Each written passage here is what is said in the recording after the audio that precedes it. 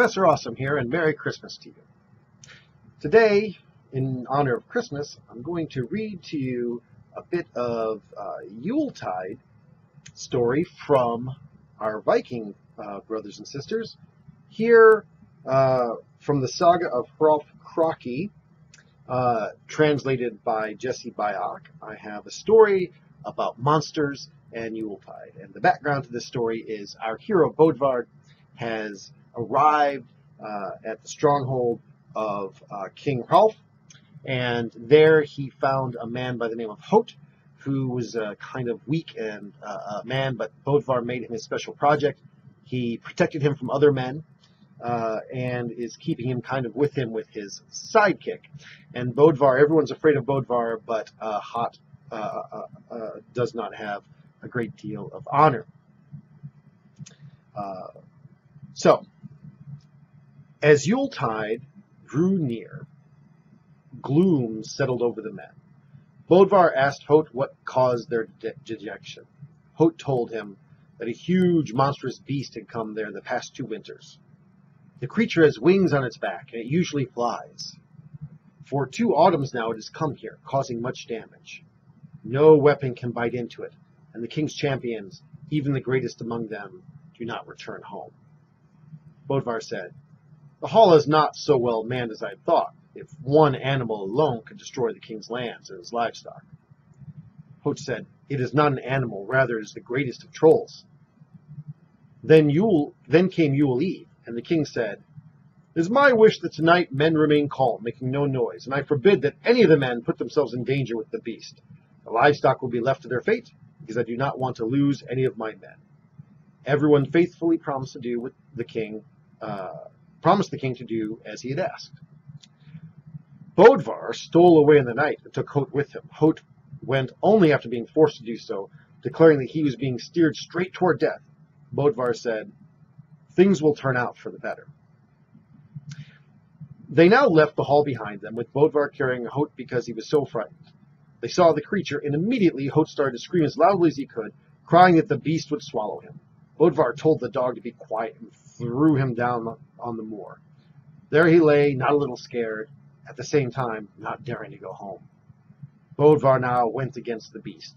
He was hampered by his sword, which, as he tried to draw it, it stuck fast in its scabbard.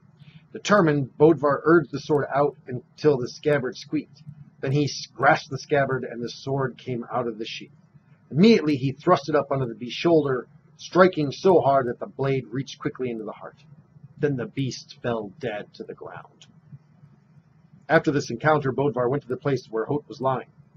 He picked up Hot and carried him to where the beast lay dead. Hot was trembling violently. Bodvar said, Now you will drink the beast's blood. For a while Hot was unwilling, though certainly he dared do nothing else. Bodvar made him drink two large mouthfuls, as well as eat some of the beast's heart. After that, Bodvar seized Hot, and they fought each other for a long time. Bodvar said, You have now become remarkably strong, and I expect from this day forward you will have no fear of King Hrolf's retainers. Hot replied, From now on, I will fear neither them nor you. Then, my Hot, my friend, said Bodvar, things have turned out well. Let us now go back to the beast and raising it up in such a way that men will think the creature must be alive.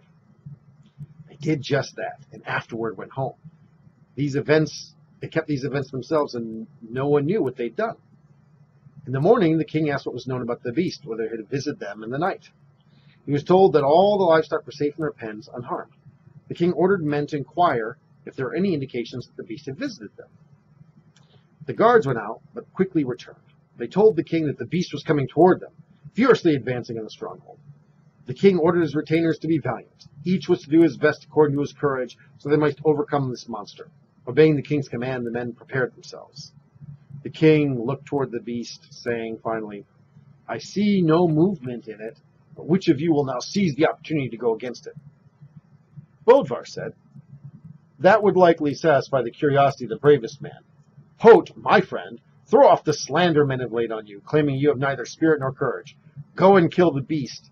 You can see that no one else is eager to do so. Right, said Hot. I will set myself to that task. The king said, I do not know where your courage has come from, Hot.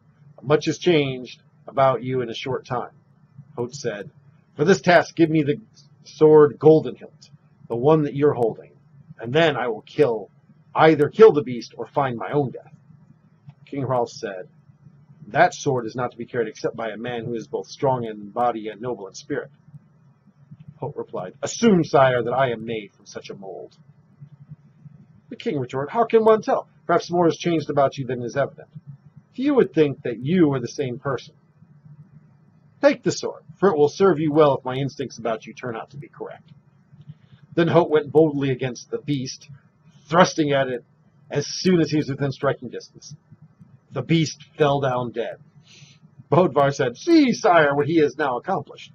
The king answered, Certainly he's changed greatly, but Hoat alone did not kill the beast, rather you did it. Bodvar said, That may be.